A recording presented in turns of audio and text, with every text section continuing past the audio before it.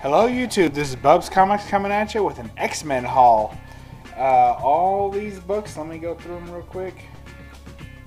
Uh, yep, all these books come from the Peddler's Mall. So it's a dollar haul from the Peddler's Mall, y'all. But there's a little bit of catch. And the catch is that some of them were only 75 cents. Boom shakalaka! Alright, here's the first one. We got X-Men number two. Of course, it's classic X-Men number two. I really like the way that they did the classic X-Men storylines. Uh, basically, they are reprintings of original um, Uncanny X-Men line, and then they kind of take everything. I think it starts off with X-Men '94, uh, the new team, and it basically follows the new team and uh, just takes their best stories and kind of runs them together. And usually you get kind of one or two storylines or one or two books per classic X-Men. So it's pretty cool, and it kind of cuts out some of the filler issues in between and just gets to the meat and potatoes of the of the best storylines of the new team of the X-Men. So glad to have that one, and this is the lowest numbered one I have. They start getting a little pricey. The one through ten gets a little gets a little up there for, more than I want to spend for a reprint.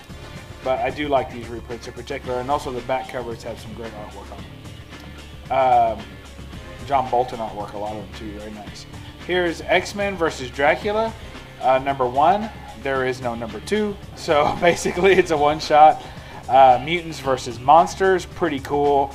Uh, you know, if you can't tell by the cover, you know Storm kind of becomes a, um, a demon for for Dracula. Actually, I think even prior to this story, she already is one. So uh, it's pretty cool. Pretty cool story.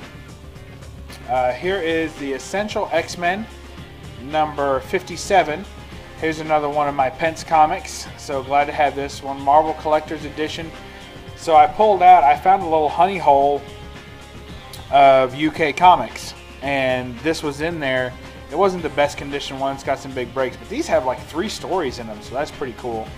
And this was the only X Men one that they had, but they had several others that were of uh, you know Avengers and a lot of Avengers ones. And it was really cool. Glad to have it.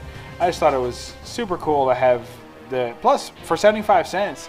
You can't hardly turn down um, three stories for 75 cents, so it's pretty cool. Glad to have that. Uh, here is X Men versus the Avengers. This is number three. This is the only one I was missing, so now I have the full four issue set. Uh, picked them all up for a dollar or less in this case. So very happy to have those. Again, most of these books are not big dollar books or anything like that, but for a dollar, they're pretty good books. uh, here's Uncanny X-Men number 200. Always like to have the um, Centennial issues, so glad to have number 200 there. Uh, double size issue, pretty good storyline in there, so glad to have that. Uh, here's X-Men, Uncanny X-Men 214. So there's some some definite Wolverine covers in there. Uh, 212, 213, I think is one of the major battles with Sabretooth uh, in the X-Men books. So I'm pretty happy to have those. So it looks like I have everything from like 211 or so up to the 220. So that's pretty cool to have that. I'm excited about that. Here's in that, keeping in that line, here's number 216. Uh, Uncanny X-Men 216, pretty cool. And here's Uncanny X-Men 223. So happy to have all that. To me, that's just a real classic cover. I love the look of the snake's eyes. That's just really cool looking. I, I just love that cover. And then uh, here is Age of Apocalypse number four. So I already have one of these. I think I have number three, and I didn't care for the way that they did uh, her face, or uh, that's the White Queen, of course. Um, and I didn't care for the way that they had done the, the the drawing of her. But I think this one looks pretty good. I think they did a good job on this one, so I'm gonna give it a shot. I don't think there's too many in this run, so I'll probably collect each of those.